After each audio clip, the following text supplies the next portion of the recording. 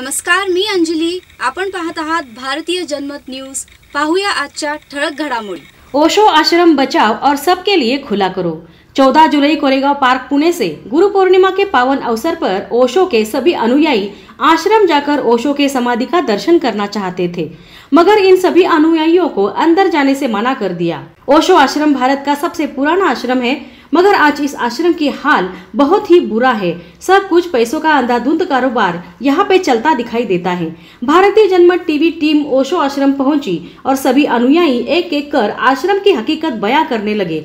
प्रशासनों की लापरवाही और पुलिस अपना आँखें बंद करके बैठी हुई है। और आश्रम के हालात को अनदेखा करके कोई भी कार्रवाई नहीं की जा रही है। ये देख के जनमत टीवी टीम हैरान रहे। ओशो आश्रम में अंदर जाने के लिए एंट्री चार्जेस नौ सौ तक है और अंदर जाने के बाद वहाँ का खाना, पीने का पानी का भी खर्चा बहुत ज़्यादा बताया जा रहा है। अंदर जाना है तो पैसा तो भरना ही पड़ेगा, ऐसे वहाँ के कमेटी ने बोला है। ये सुनकर सभी ओशो अनुयायी हैरान परेशान हो गए। ये पैसों का लेकर अंधाधुंध कारोबार नहीं चलेगा। ओशो सबके है और कोई भी उनके समाधि पर जाने से हमें नहीं रोक सकता। ओशो आश्रम बचाओ और सबके लिए खुला करो। ये निवेदन पुलिस कमिश्नर को दिया गया। हम राज्यपाल जी के पास गए थे।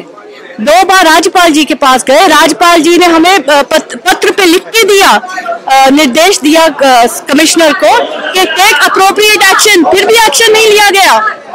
और आज हम अगर सवाल करें तो हमें बैन कर दिया जाता है। और मेरे को उन्होंने धमकी भी दी और मुझे ब्लैकमेल भी करने की कोशिश करी। हमने सब हमने सब क्वेश्चंस रेज करे हुए कि पैसे का गबन कैसे हुआ है?